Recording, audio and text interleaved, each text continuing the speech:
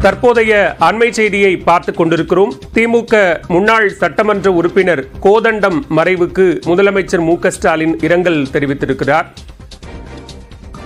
கோதண்டம் மறைவு செய்தியை அறிந்து மிகவும் வருந்தியதாகவும் முதலமைச்சர் தனது இரங்கல் செய்தியில் குறிப்பிட்டிருக்கிறார். காஞ்சி வடக்கு மாவட்ட திமுக முன்னோடி தலைமை பொதுக்குழு உறுப்பினராக செயல்பட்ட முன்னாள் சட்டமன்ற உறுப்பினர் கோதண்டம் மறைவுக்கு முதலமைச்சர் இரங்கல் தெரிவித்திருக்கிறார்.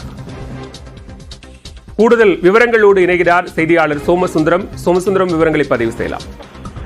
வணக்கம். காஞ்சிபுரம் மாவட்டம் திருப்பெரும்புதூர் சட்டமன்ற தொகுதி முன்னாள் உறுப்பினர் திரு ஏ கோதண்டம் அவர்கள் வயது மூப்பு காரணமாக இன்று மரணம் அடைந்துள்ளார் அவருக்கு வயது தொண்ணூத்தி ஒன்பது ஆகிறது.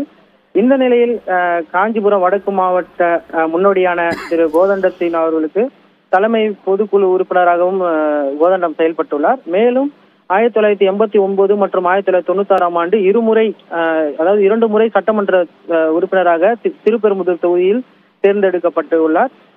தற்பொழுது அவருடைய மறைவுக்கு தமிழக முதல்வர் திரு மு க ஸ்டாலின் அவர்கள் தன்னுடைய இரங்கலை தெரிவித்துள்ளார். அதில் அவரை இழந்து வாடும் அவரது அன்பு மகன் குன்றத்தூர் நகர திமுக கழக செயலாளரும் குன்றத்தூர் நகர்மன்ற தலைவருமான தம்பி கோ சத்தியமூர்த்தி அவர்களுக்கும் அவரது குடும்பத்தாருக்கும் காஞ்சிபுரம் வடக்கு மாவட்ட கழக உடன்பிறகளுக்கும் அஹ், அதாவது உடன்பிறப்புகளுக்கும் திருப்பெரும்புதூர் தொகுதி மக்களுக்கும் ஆழ்ந்த இரங்கலை ஆறுதலையும் தெரிவித்துக் கொள்வதாக தமிழக முதல்வர் அவர்கள் நம்மளுடைய இரங்கல் செய்தியில் பதிவு செய்துள்ளார் என்பது குறிப்பிடத்தக்கது. விவரங்களுக்கு நன்றி சோமசுந்தரம்.